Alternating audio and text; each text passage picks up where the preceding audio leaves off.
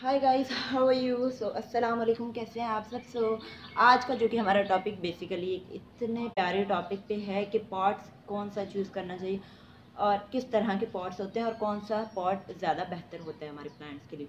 तो यहाँ पे हमारे पास है ग्रो बैग प्लास्टिक टेराकोटा और सीमेंट का है वो उधर पड़ा है वो बड़ा है। तो इनके बारे में इंफॉर्मेशन दूँगा और बताऊँगा कौन से प्लांट के लिए किस तरह का पॉट अच्छा है। तो without wasting any much time हमारी वीडियो की तरफ़ चलते हैं। इसमें आपको एक एक प्लांट के बारे में इंफॉर्मेशन मिलेगी इन जो कि प्लांटर उसमें लगाया जाए। जिस प्लांटर में प्लॉट प्लांट लगाना हो। तो without wasting any much time let's begin to our video so या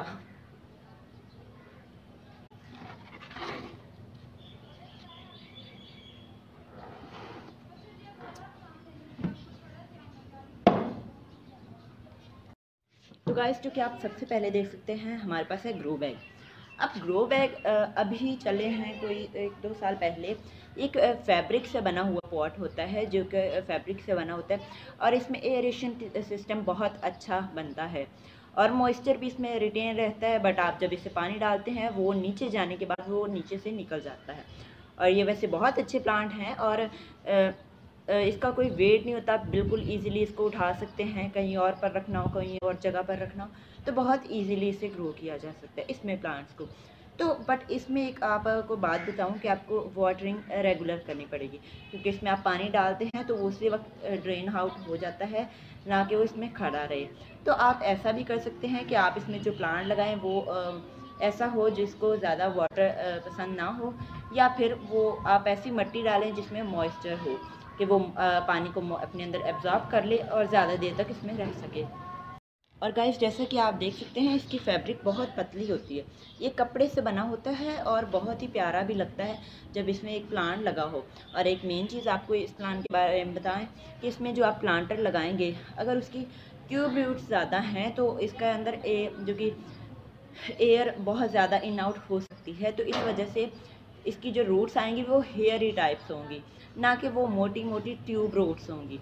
तो वो वो भी बहुत अच्छा आपकी प्लांट की ग्रोथ कर लिए, वो क्या करेगा कि प्लांट में जो कि इसमें पानी ज़्यादा मतलब ऊपर तक पहुंचाएगा और प्लांट्स की आप देखें ग्रोथ बहुत अच्छी होगी।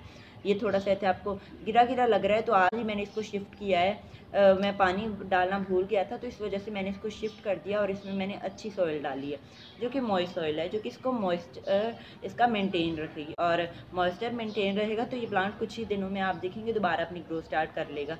तो ये वो मेरे से गलती होगी मैं भूल गया बहुत कि इसको पानी डाला तो इस वजह से। तो गाइस अब बात कर लें हम टेराकोटा पॉट्स की। टेराकोटा पॉट असल में मट्टी के होते हैं जो कि पॉट। ये चीकनी मट्टी से बनाए जाते हैं। अब इसमें भी किस्में आती हैं? चीकनी मट्टी के कुछ होता है कि उसमें थोड़ी सी सैंडी सॉइल का मिक्सचर किया जाता है इसको बनाने के लिए। और कुछ में जस्ट चीकनी मट्टी का किया जाता है। तो इसमें एयरेशन सिस्टम बहुत अच्छा होता है। बट इसमें भी कुछ किस्मत हैं किस्में हैं सॉरी जिसमें एयरेशन थोड़ा सा कम होता है। और एक चीज़ आप टेराकोटा अगर पॉट यूज़ करना चाहते हैं तो ध्यान में रखें कि इसके ऊपर कभी कभी ग्रीन टाइप के इसके ऊपर आ जाती है। तो उसको आपको रिमूव करना होगा। मोस्ट प्रूव हो जाती है, उसको आपको रिमूव करना होगा तो फिर ही इसका एयरेशन सिस्टम बना रहेगा। नहीं तो वो एयरेशन सिस्टम नहीं बन पाएगा, जैसा कि ये पॉट उस तरह का है। और ड्रेनेज होल होना भी बहुत ज़रूरी है, ये तो हर पॉट के लिए। और ये ऐसे पॉट हैं जो कि अपने अंदर ज़्यादा देर तक मॉइस्चर लेवल को मेंटेन कर सकते हैं। और कभी अगर सर्दी जैसे कि बारिशों के मौसम में आप देखेंगे जब बारिशों का मौसम होता है तो इसमें से जो कि पानी बहुत जल्दी ही ड्रेन आउट हो जाता है। एक होल की वजह से और इसमें एक एयरेशन सिस्टम की वजह से। और ये प्लांट्स लगाने के लिए बहुत अच्छे पॉट माने जाते हैं। But in plants in planters का ये होता है कि ये टूट बहुत जल्दी जाते हैं। अगर एक दफ़ा आपसे गलती से गिर गए तो ये आपका प्लांटर टूट जाएगा। तो इस वजह से इनको आ, कम यूज़ किया जाता है। अब बनस्बत अब प्लास्टिक पॉट बहुत ज़्यादा यूज़ होते हैं। एक ये भारी होते हैं कि छतों पर आप जो रूफ टॉप गार्डनिंग करते हैं लोग उनके घरों में अगर स्पे छत पे स्पेस हो तो अपनी गार्डनिंग शुरू कर लेते हैं। बट वो स्पेस होने की वजह से ये भारी पॉट रखने की वजह से वो बहुत हैवी हो जाता है। तो इस वजह से लोग अब इनको अवॉइड करते हैं। तो जैसा कि आप देख सकते हैं ये वैसे पॉट बहुत अच्छे होते हैं प्लांट्स ग्रो करने के लिए। तो आप इसमें कोई भी ऐसा प्लांट लगा सकते हैं जो कि थोड़ा सा मॉइस्चर लेवल को आ, मतलब ऑब्जॉर्व कर ले और मॉइस्चर पसंद हो। तो आप देखेंगे ये वैसे बहुत अच्छा पॉट है। अगर आप मैं आपको दिखाता हूँ कुछ ऐसे पॉट जिनका जल्दी से ड्रेन आउट हो जाता है पानी। आप देखेंगे ये जो पॉट है इसकी थोड़ा है इसका जो कि मोटाई है, वो बहुत थोड़ी है। तो आप देखेंगे इसमें से पानी जल्दी बाय एयरेशन सिस्टम इसमें बना रहता है और पानी भी बाहर निकलता रहता है।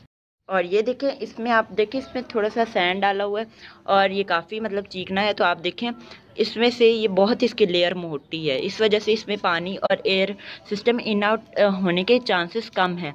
पानी इन आउट तो होगा और एयर एयर भी बट इसके चांसेस बहुत कम हैं। अब देखेंगे इसकी मोटाई से ही आपको पता लग रहा है। अब बात कर लें प्लास्टिक पॉट्स की। जैसा कि आप जानते हैं, प्लास्टिक पॉट वैसे तो बहुत लाइट वेट होते हैं और अच्छे होते हैं। बट इसमें एयर इन आउट नहीं हो सकती। इसके चाहे नीचे, वैसे बहुत ड्रेनेज होल होते हैं, वो बहुत अच्छा है। पानी जल्दी ड्रेन आउट हो जाता है बट इसमें आपको कुछ चीज़ें फेस करनी पड़ेगी। एक तो जब आप पानी डालेंगे, मट्टी नीचे से निकल जाएगी। ये और दूसरा कि इसमें एयर रेशन सिस्टम नहीं बन पाता है चाहे कुछ ले कर लें। और इसमें मॉइस्चर लेवल भी बहुत ज़्यादा रहता है और जब आ, आ, बारिशों का मौसम है तो पानी बहुत ज़्यादा हो जाता है तो फिर पौधा आपका ख़राब होने लगता है। तो इसमें बहुत सी किस्में आप देखिए कुछ हैंगिंग होती हैं होल्स और इसमें भी आपको ध्यान रखना है कि हैंगिंग वाले में भी ना के होल नीचे होने चाहिए इधर इधर होने चाहिए। इसके आप देखिए होल इधर हैं। ये और थोड़ा सा लेवल नीचे है। तो इसमें पानी स्टोर हो जाता है नीचे वाला। तो ये भी आप ध्यान रखें कि आप इसमें और होल बना लें। मैंने तो अभी बनाया नहीं है बट इंशाल्लाह बनाऊँगा जल्दी। टाइम नहीं मिल रहा तो इस वजह से। और अब आप देखें कि प्लास्टिक पॉट्स में एक आपको बहुत मुश्किल चीज़ है कि अगर इसकी सॉइल सूख जाएगी अगर या फिर ना भी सूखेगी, इसको जो कि मिट्टी और प्लास्टिक में थोड़ा सा फ़र्क आ जाएगा।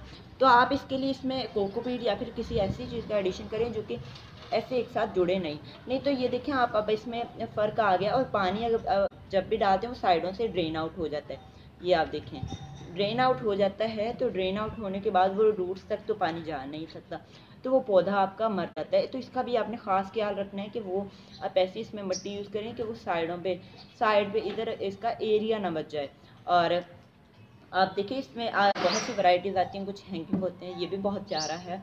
तो और इसमें भी प्लांट्स बहुत अच्छे ग्रो होते हैं तो बस एक ध्यान रखने की एक आपने इसको धूप वाली जगह पे नहीं रखना है। धूप वाली जगह पे आप रखेंगे तो एक तो ये गर्म हो जाएगा और ये प्लास्टिक ख़राब होगा और दूसरा प्लांट्स की रूट हीट अप हो जाएँगी और हीट अप होकर ख़राब होना शुरू हो जाएँगे और आप, और गाइस एक बात मैं बताना भूल गया था कि ग्रो बैग्स में भी ऐसा नहीं होगा कि आप पानी डालते जाएँगे तो वो निकल जाएगा। ऐसा होगा कि वो पानी एक दफ़ा रूट लेवल से जाएगा और फिर इसका पानी आप देखेंगे वो ख़त्म होगा। या फिर इसके साइड से थोड़ा थोड़ा से निकलना शुरू हो जाएगा। अब आप देखिए, इसमें काफ़ी पानी खड़ा है। ये देखिए। शायद आपको दिख रहा हो। ये देखिए, इसमें काफ़ी ज़्यादा पानी अभी खड़ा है। ये देखें तो ये इतनी जल्दी भी ड्रेन आउट नहीं होगा बट वो रूट लेवल से नीचे जाके फिर निकलेगा नीचे पानी। तो ये भी एक इसकी बहुत अच्छी बात है। आप देखें कि ग्रो बैग्स की। तो आप ग्रो बैग्स में भी लगा सकते हैं लाइट वेट भी होते हैं और उठाने में भी भी आपको जल्दी मतलब होती है कि आप जल्दी से उठा सकते हैं। और आप देखें कितने ये अच्छे होते हैं ग्रो बैग्स अगर आप इनको भी अपने घरों में लाएँ तो बहुत एक प्यारी लुक भी देते हैं और बहुत प्यारे भी लगते हैं। आप अगर इसमें प्लांट ग्रो करें तो प्लांट्स भी बहुत प्यारे लगते हैं देखने में और आप अब देखें अब नीचे से कितना जल्दी इसमें पानी ड्रेन गाइस अब बात कर ले सीमेंट पॉट की। आप देखें सीमेंट पॉट एक तो भारी बहुत होते हैं, ये मेरे से उठाया नहीं गया। और छत पे वज़न भी डालेंगे, ज़ाहिर सी बात है। भारी होने के साथ साथ एक तो इनमें एयरेशन सिस्टम बिल्कुल ज़ीरो होता है। आप देखेंगे, ये सीमेंट का इतना बड़ा पॉट है और इसमें एयरेशन सिस्टम बिल्कुल भी नहीं इसकी आप देखें लेयर थिक है इस वजह से और एयरेशन सिस्टम भी नहीं पड़ता और मॉइस्चर लेवल अंदर रहता है और फिर मॉइस्चर लेवल रहने की वजह से प्लांट्स आपके गल सट जाते हैं और फिर वो ख़राब होना शुरू हो जाते हैं। तो अगर आप स्टार्ट करना चाहते हैं तो मैं आपको कहूँगा प्लास्टिक और ग्रो बैग्स या और टेराकोटा पॉट्स में लगा लें। ज़्यादा अच्छे तो ग्रो बैग्स और आई थिंक टेराकोटा पॉट्स हैं। प्लास्टिक का कुछ ऐसा होता है कि आप नहीं भी लगा सकते धूप की वजह से बट ये दोनों सही रह जाएँगे। और सीमेंट में अगर आप लगाना चाहते हैं हाँ लगा लें बट इसका ये एक मसला है कि इसमें एयरेशन सिस्टम नहीं बन पाता है। और एक चीज़ ये भी है कि एक सिचुएशन को देख के हमें लगाना पड़ता है। सिचुएशन को देख के कि ऐसे को कुछ प्लांट्स होते हैं जिनको मॉइस्चर लेवल इतना ज़्यादा पसंद नहीं होते। जैसे कि कैक्टस सकलेंट प्लांट्स हो गए। एक जैसे पर्पल हार्ट है, इसको मैंने प्लास्टिक पॉट में लगाया है। अभी तो मैंने इसको पानी दिया, नहीं तो इसमें मॉइस्चर लेवल ख़त्म हो जाता है। बिल्कुल ऐसे सूख जाते हैं तो ये बहुत अच्छी ग्रोथ कर रहा है। और अब आप देखें कि और जो प्लांट्स हैं जिनको मॉइस्चर लेवल थोड़ा सा पसंद हो, जैसे क्राइप्रेस वाइन तो आप इनको इसमें भी लगा सकते हैं, इनको सीमेंट वाले में लगा दें।